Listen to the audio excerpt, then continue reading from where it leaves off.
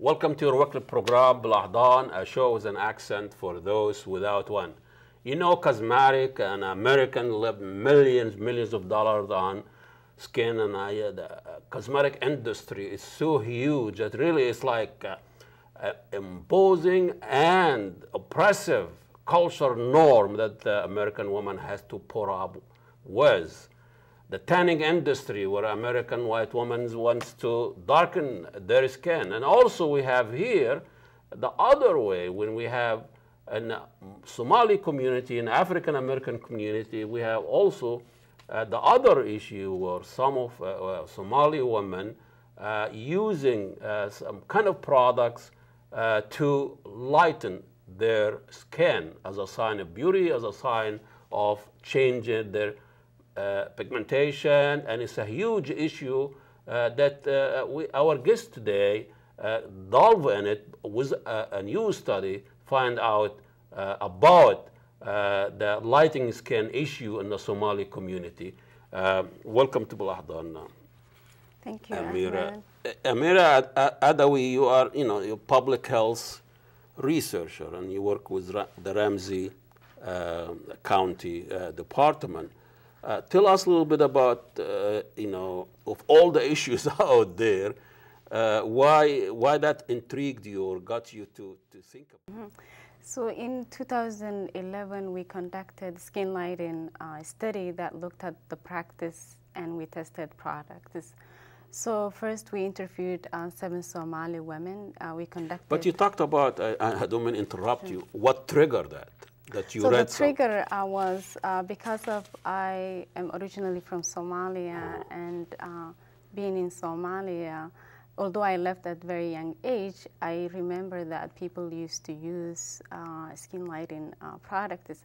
But coming here and growing up here, I saw that a lot of people, a lot of women particularly using these products and that uh, and I could see externally how it's affecting them, but I didn't know internally. It's uh, interesting uh, uh the reason that drives uh, lighting uh, your skin back home. Is the same reason here?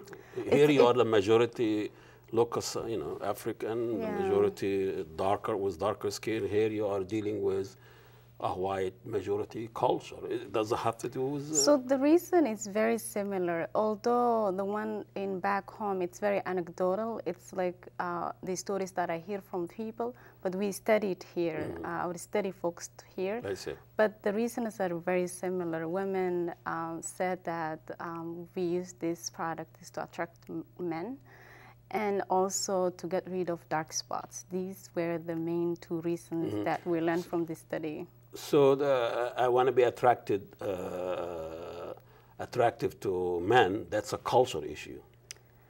Uh, well, that's that's something that was not uh, just a Somali. I mean, this is you know, woman yeah. who wants to be uh, attractive uh, in all the culture. But I'm saying, get rid of the black spot. What that's about? Dark spots. Dark um, spots. Some so some of the women that I interviewed talked about during pregnancy because of the hormonal change, I the see. skin color changes, and so they want to get rid of these dark spots. And the, the and, and and and they look at it from a, uh, aesthetic, you know, beautification, or just the health. Uh, this dark spot means something wrong with my, you know, skin, and I need to treat it. So there's two reasons to it. Uh, some use it uh, to intentionally change their skin color, but there are some that have skin conditions that have uh, dark spots that want to use it for skin conditions. However, um, the ones that uh, use uh, to lighten their skin is higher uh, prevalent than the other ones? Uh, you know, I mean, uh, as you study, you stated that this is not a Somali issue, an African American, Latino American. Can we extend that also to white Caucasian women when they do tanning and there's been millions of dollars to have a darker skin? It's so opposite. in our study, it didn't focus on the white community yeah. or tanning. We only focused on skin lighting and skin lighting practices. So initially we focused on the Somali community, but later on we found out the Hmong community and the Karen and the Latino are having the same issues. So that's why we're extending our campaign to educate these communities as well. You know, I, back home in Egypt, uh, you know, we have the southern part of Egypt which was closer to Africa and Sudan, and they have darker skin. Mm-hmm. And they have the northern and the city in the middle, you know, Cairo. Uh, but I, I, think I grew up with being uh, darker is a sign of beauty. And we have song and literature about Asmar, Asmarani, smile, whatever. Mm-hmm. But I, th- I think it is an issue there too. You know, people been rejected, uh, men been rejected because they are darker skin, women been rejected by darker skin. Mm-hmm. So this is what I'm getting. Is this kind of has something to do with the history, with coloni- uh, colonization and white, uh, you know, supremacy and all that that that our part of the world suffers from it. Mm-hmm. But that wasn't your part of the study. Yeah, my study uh, didn't focus on a sociological aspect. We only focused on the health aspect. However, it's highly prevalent uh, practice around the world, mainly Asia and Africa, especially Africa. Nigeria, 77% of Nigerian women do practice skin lighting. Really? Yeah, that's the, the study that WHO released uh, two years ago. And so in Africa, it's highly uh, prevalent. Uh, and there's a literature that talks about. Uh, so, what is the man's attitude about this? Because I think what's driving also, uh, the man has something to do with it, expectation. He wants, uh, you know, so uh, the woman catering to man's some kind of domination of, mm. of woman, that's one of it. Yeah. Well, um, the women that we interviewed for the study, uh, they talked about how men want fair-skinned women, and so that was one of the main influences. So I approached men. Now, uh, part of my discussion and education, I do talk to men, and they absolutely do, do admit that before that was something that they they expect that yeah, they prefer. But, but it's not anymore. I see. Yeah. The, do men use? Uh, those kind of products? Some, some men use, but our study didn't focus on men. Uh-huh. Yeah. But you know, that will be interesting to see. This is a woman issue or is this the man issue? Can I, you know, uh, so if it's a man issue, then mean talking about race or dark, you know, in general. But mm-hmm. if it mm-hmm. just women doing it, that's a different. Um, based on the literature review that I did, uh, countries in Africa, uh, especially Ghana and Nigeria, men practice, Jamaica, men practices. So it's not as prevalent as women practicing, like but it here. does exist. Yeah. Okay. So what do they use?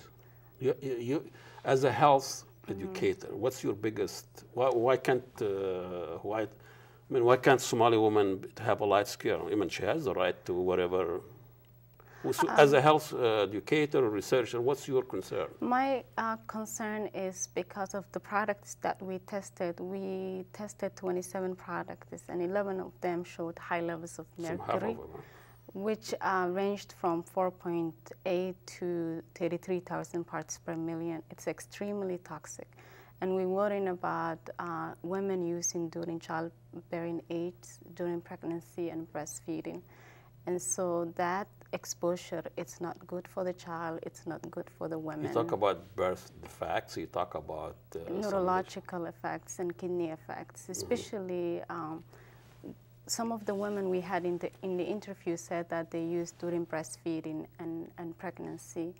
And through breast milk, uh, it can easily pass through to the child, and we don't want uh, that to happen. So when those, how did they get this product anyway? I, I can't believe, I can, I can imagine it's made here.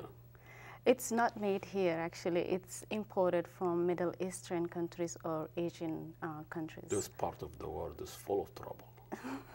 they don't produce anything but. So uh, how did they get it here?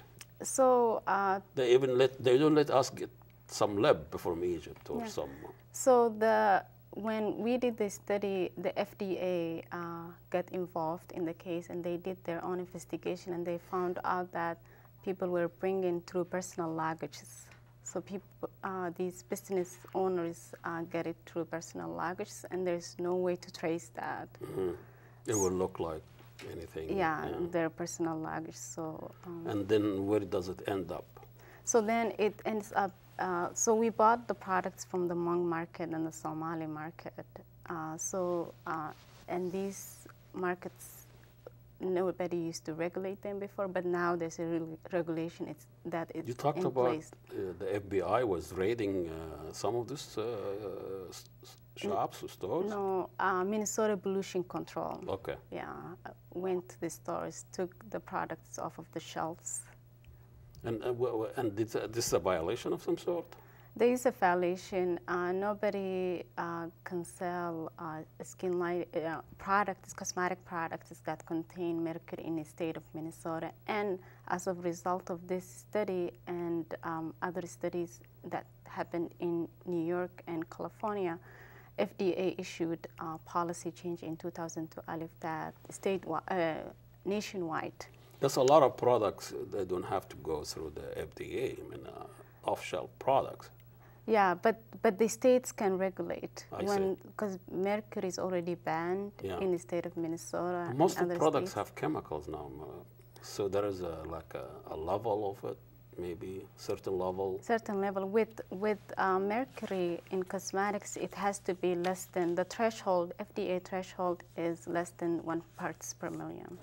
And uh, is this an awareness issue? Do, do, do, are the Somali women aware of uh, ramification and the health issue? So for the last three years, we have been doing education, uh, Uh-huh. going into the community, educating, meeting with providers, healthcare providers, and making sure that uh, system change and policy change happens. So what's the reaction? Do they trust your, uh, I mean, we, we, we came from a culture we don't really trust institutions, Mm-hmm. know, especially, you know, white institutions or other institutions. But uh, but it all it's all depends on building relationship I with see. communities. Uh, Mhm. so b- we build relationship with them, and so through that way we were able to educate them.